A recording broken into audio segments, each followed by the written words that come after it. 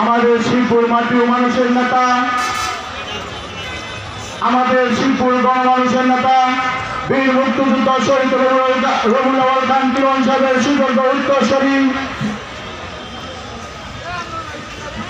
শিবপুরের তৃণমূলের আস্থাভাজন নেতা, শিবপুর আওয়ামী লীগের সংগ্রামী সভাপতি, জননেতা জনাব আলহাজ হারুন রশিদ খান। উপস্থিত আছেন শিবপুর আওয়ামী সংগ্রামী সাধারণ সম- সম্পাদক, আমাদের শ্রদ্ধাভাজন অভিভাবক, জনাব আলহাজ শামসুল আলম মিয়া ভাই। উপস্থিত আছেন শিবপুর আওয়ামী লীগের সকল অঙ্গ সংগঠনের নেতৃবৃন্দ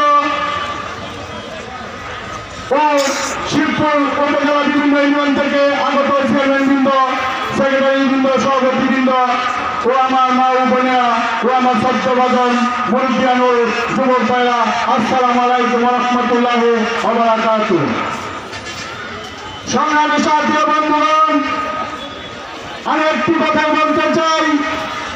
আজকে জননেতা আল্লাহ রশিদ নেতৃত্বে আপনারা যে দিয়েছেন আজকের জনসভার জনসমুদ্রে পরিণত হয়েছে।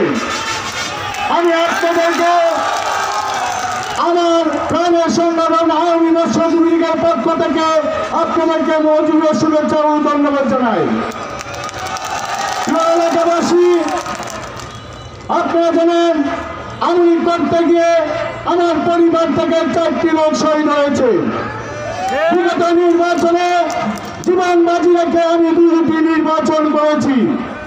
আপনারা জানেন আমি ওই নির্বাচনে ভোট কেন্দ্র না যাওয়া দশ মাস পরে গাইবি একটি মারার মামলার চার্জিভুক্ত আসামি হয়েছি। আমি শিবপুর আওয়ামী কোন নেতৃবৃন্দর কাছ থেকে কোনো আশ্বাস পাই নাই, কোনো সহযোগিতা পাই নাই। আজকে এই খুনের মামলা মাথায় নিয়ে আমি ঘুরছি।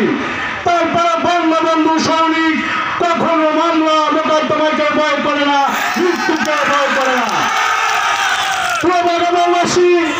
আমি আপনাদের সাথে কথা দিচ্ছি জননেত্রী শেখ হাসিনা, যাকে যোগ্য মনে করবে, তাকে নৌকা দিবে।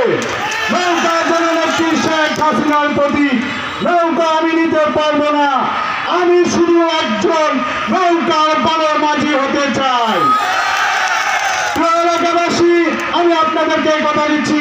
জননেত্রী শেখ হাসিনা তুই আমাকে নৌকা না দে যাকে নৌকা দে নৌকাকে বিজয় করার জন্য আমারও যদি আরেকটি ষড়যন্ত্র মামলা খাই আমারও আর আরেকটি গাইবি মামলা খাই, তবু মার ছাড়বো না, নৌকাকে বিজয় করব।